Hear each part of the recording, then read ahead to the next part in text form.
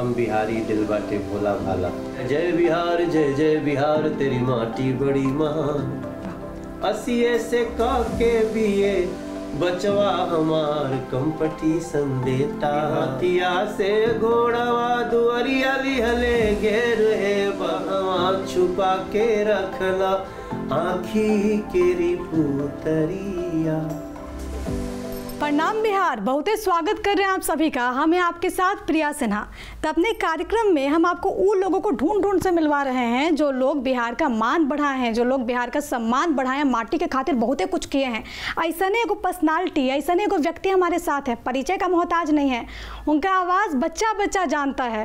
Acting कह लीजिए, संगीत कह लीजिए पॉलिटिक्स कह लीजिए, हर चीज़ में वो महारत हासिल किए हुए हैं।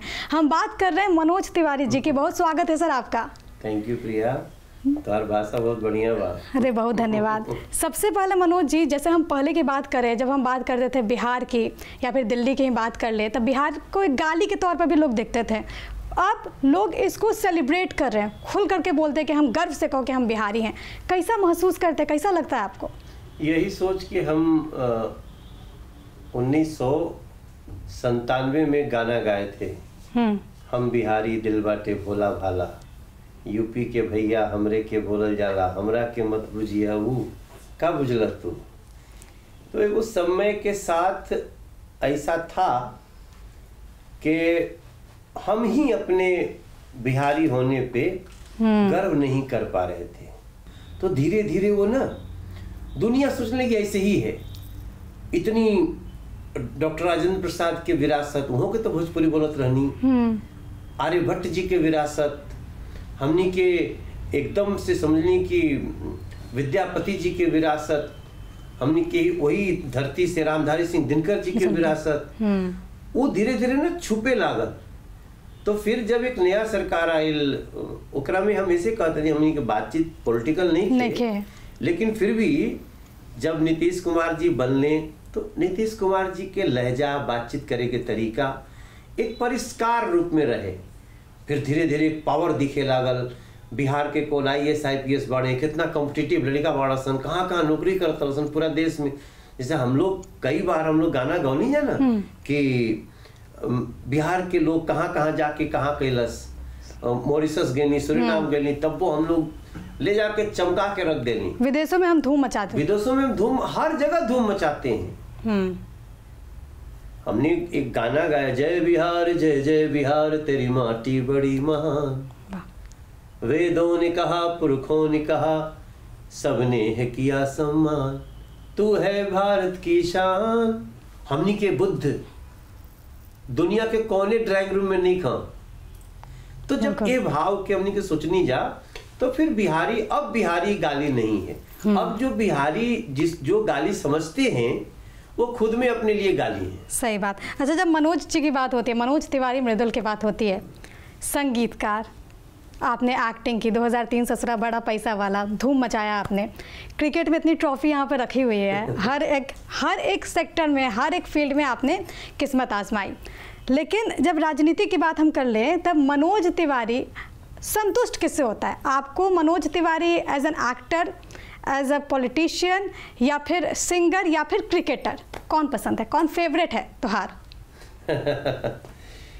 देखिए हम सिंगर एक्टर पॉलिटिशियन से भी पहले ना एक लिरिक राइटर है जो लोगों ने शायद ध्यान से नहीं देखा। मेरा एक्टर वाला और ज़्यादा बढ़ गए गायक वाला बढ़ गए फिर सांसद बन गई और सांसद भी बनली तो नकारात्मक बात नहीं करी ना हम। हम सबसे ज़्यादा हमके सुख मिलेला गाना गावे में। अच्छा। वो गाना हमार प्रोफेशन भी बाटे ओकरे से हमार रोजी रोटी गाने बा आज भी। तो और फिर हम गीत लिखीला। जैसे हम कई वो गीत हम गीत लिखली कि असिए से कह के भी ये बचवा हमार कंपटीशन देता ए मैं में लेके एडमिशन कंपटीशन देता बेरोजगारी के जो मूल जो तकलीफ़ रहे वहाँ चोट कैली हम अच्छा मनोज जी इतना ट्रॉफी फिर से इसी पे बात। बीएचयू से आप खेले। उसके बाद क्रिकेट में रुझान आपका अक्सर देखते हैं हम लोग। मैदान में आप निकल जाते हैं कभी खेलते रह रह जाते हैं दिखते हैं हम लोग। कहीं मन नहीं किया कि भारत की तरफ़ से खेलें? अरे मनवा तो करबे खेलत ना सफल हो पैनी जा। हम लोग बहुत दिन ट्रायल दिए लेकिन एक समय हमारे इस लाइफ में ऐसा था जब हम बिहार से हाई स्कूल केला के बाद बनारस आई हम्म। तो यूनिवर्सिटी का सिंधु विश्वविद्यालय में पढ़त रहनी जा। तो मैं समझता हूँ मेरे विजन में पहले क्रिकेट ही था। हम्म। फिर वहाँ से ही मेरी गाना का एक निकल गया। क्योंकि हम लोग टूर में होते थे तो सारा टीम वाला बोलता था मनोज गाना गाओ। अच्छा। तो जब मैं नौकरी ढूँढने लगा नौकरी नहीं मिल रहा था तो हमको वही याद आया कि हमारा गनवा लगता है लोगों को पसंद आता है। तो उस दिन ही समझ में आ गया कि मनोज तो गाना में ठीक गा सकेला। बम्बई गईला उससे पहले बनारस गईला अब दिल्ली में हाँ। कभी सोच रहा ना कि बिहार के कर्म भूमि बनाई जा? नहीं ई कुल तो बहुत किस्मत से भी होला ना। जब हम लोग खड़ा होत रहनी जा 90, 92, 93, 94, 95, 96, 97 ई बिहार के का जानल जात रहे? अपहरण इंडस्ट्री।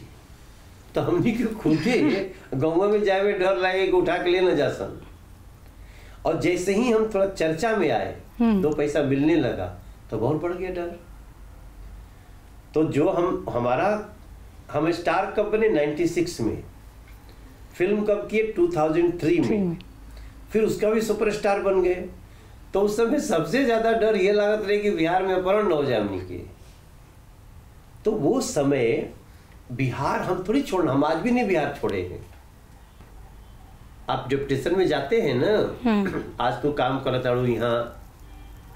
भारत एक्सप्रेस खातिन और मान लो कि कुछ दिन यहीं रहे के पड़े थोड़े पटना छूट जाई सही बात। जननी जन्म भूमि स्वर्गादपि गरीय से ऐसे नहीं कहल जाला। वो अर्थिंग मिलत रहे। हमार का वो डिस्कनेक्ट नहीं हो सकेला। कभी ऐसा मलाल हो क्योंकि हम लोग को ऐसा लगता है कि छठ में नहीं जा पाए घर। कभी आपको कभी ऐसा हुआ कि छठ में घर नहीं जा पाए बहुत मलाल हुआ हो कि दिल्ली में है? जहाँ रहनी वही छठ मने लगल। अरे वाह। से बढ़िया मने लगल।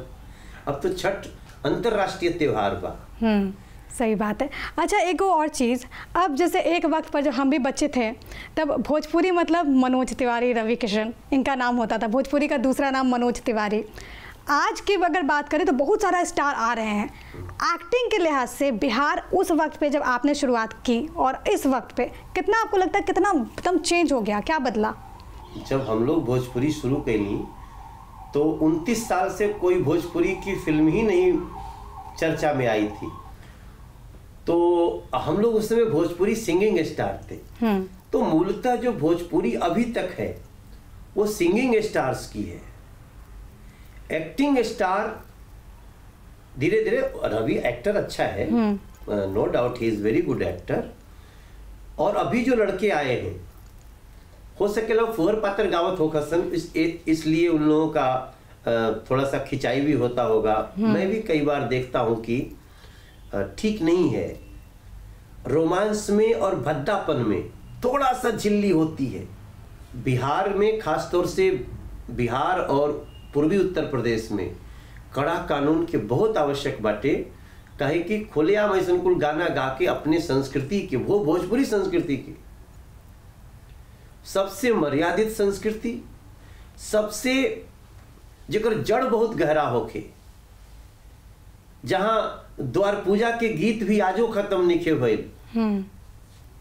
कि हथिया से घोड़वा दुअरिया लिहले घेर हे बाबा। जाग हे अरे मोरबा। तुअरे अइने दमाद कौन मैच करेगा इसको? आज तो कोई भी फिल्मी गाना लगा देगा। बहुत समृद्ध है वो। आज भी जब बेटी आयल मड़वा में तो ओकरा के गीत बाटे की कहवा छुपा के रखला आखी केरी पुतरिया लड़की जैसी भी हो लेकिन अपने माता पिता के लिए आँख की पुतली है। अब एगो चीज़ और मनोज जी काहे कि दिन की शुरुआत कैसे करेला म्यूज़िक से। सुबह जैसे उठो अपने म्यूज़िक रूम में जाई और रियाज करब फिर ओकरे बाद थोड़ा सा वॉक करब थोड़ा पसीना बहायल जाई स्ट्रेचिंग कल जाई अब अब दिन की शुरुआत ऐसे करते हैं तो उसके बाद जब बिहार जाते हैं क्या कि हम लोग बिहार जाते हैं तो मम्मी तो एकदम फेवरेट खाना बनाती हैं। आप जब बिहार जाते हैं तो सबसे ज़्यादा क्या खाते हैं? सबसे पसंदीदा फेवरेट नहीं एक तो हमार माई मेथी के लड्डू बना के रखे ले। वो बहुत फ़ेमस बा ओकर। वो सवेरे शाम दोपहरिया का वो खाई जा सकेला। और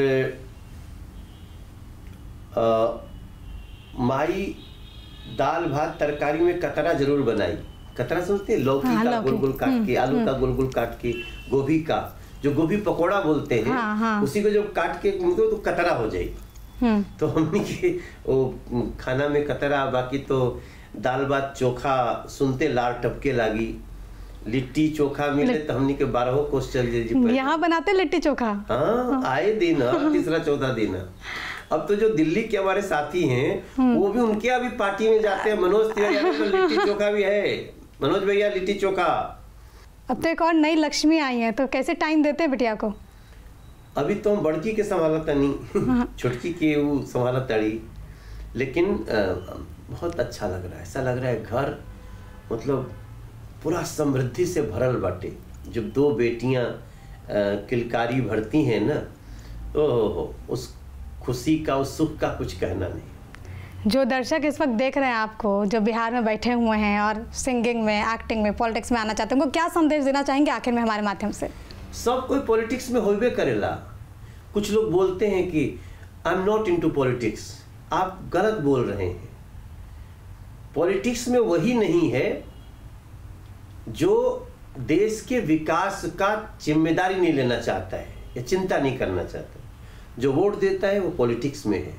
इसलिए पॉलिटिक्स को कभी भी निगेटिव मत बनाइए। पॉलिटिशियंस निगेटिव हो सकते हैं पॉलिटिक्स नहीं। बहुत धन्यवाद आपका हमारे साथ जुड़ने के लिए बहुत अच्छा और बहुत अच्छा लगा आपसे मिल करके आपकी बात सुन करके हमारे दर्शक भी समझेंगे और जानेंगे कि बिहारी कैसे आगे बढ़ रहे हैं। एकदम बिहार का जो सीना है एकदम चौड़ा कर रहे हैं। इसी के साथ खास कार्यक्रम में इतना ही लेकिन अपना बहुत ही ख्याल रखेगा फिर आपसे मिलेंगे को बिहारी के साथ। तब तक देखते रहिए हम बिहारी।